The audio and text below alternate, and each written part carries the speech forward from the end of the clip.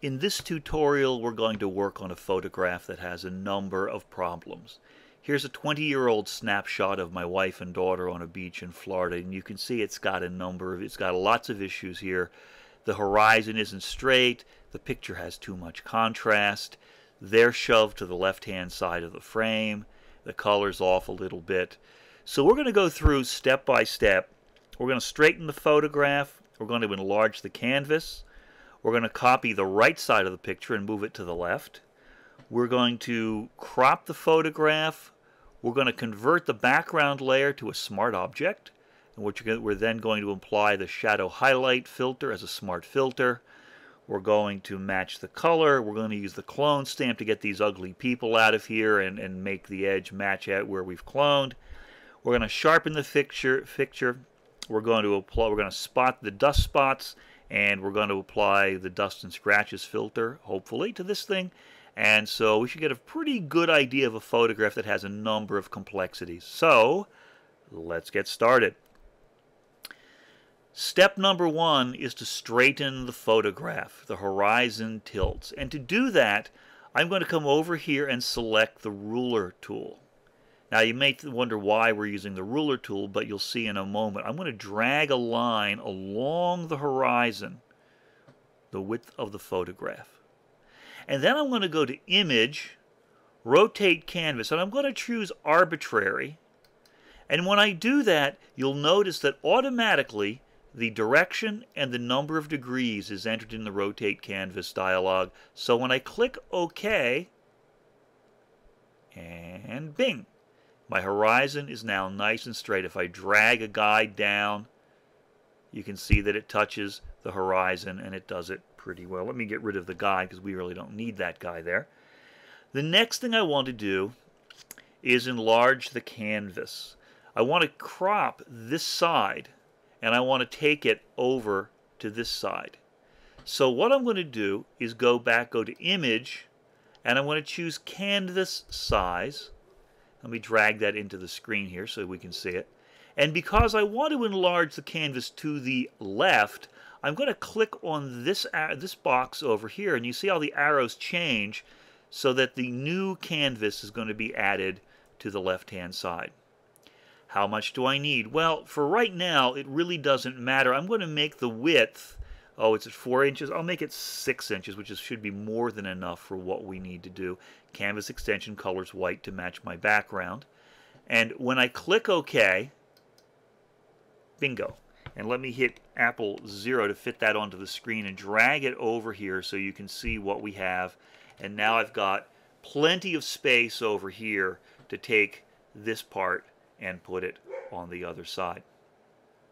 To move this over, I am going to grab the rectangular marquee and I'm going to come over here and I'm going to make a selection on the left on the right hand side I'm sorry of the canvas. And I'm actually going to rotate this selection and so I can get a little bit more of the of the sand and surf over here. And to do that I have to go to the select menu and I have to choose transform selection so I'll click on transform selection. When I do that, you'll notice that I get transform tools and I can rotate this, bo this box and I can move it over and get it where I rotated it a little bit too far, but that's okay. I can always bring it back, get it on there. Now, I don't have to be real, real accurate here, but I do want to go all the way up to the sky, and I want to come all the way down to the bottom here. And if you snap, you see how this is snapping at the bottom? Hold down the control key and that will keep it from from snapping. And, and make sure you release the mouse then before you release the control key. And I got this when I get this thing set to where I want it and I'll bring that over a little bit more and I'll, I'll drag this over a little bit more too. And I got that set there. And I'm going to press the enter key or the return key. And now I want to put this on a layer. There are a couple of ways that I can move this over. One way would be to hold down the the command key on a Windows on a Macintosh or the control key and the option key or the alt key and I can hold down the shift key and just drag it over. And that works pretty well and that's kind of a really quick way to get that over there and I just want to bring it over here and just to a point where I'm gonna I don't want to touch the sleeve. I just want to set it down there.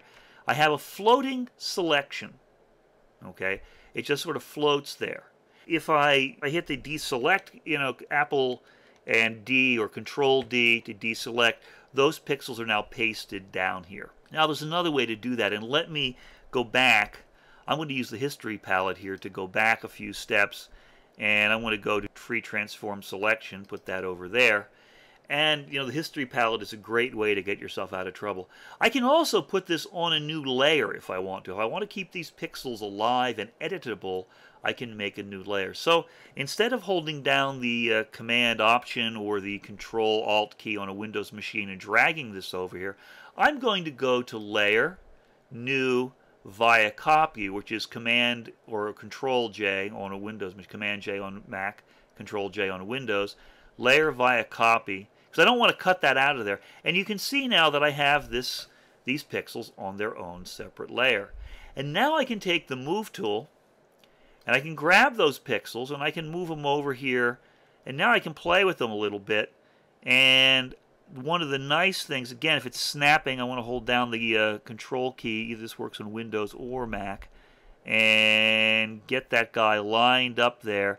And here's a place where I might want to have that guide up there, and just to make sure that I get that guy nudged down, I don't want it to be too low or too high. And you can use the up and down arrow keys on the keyboard.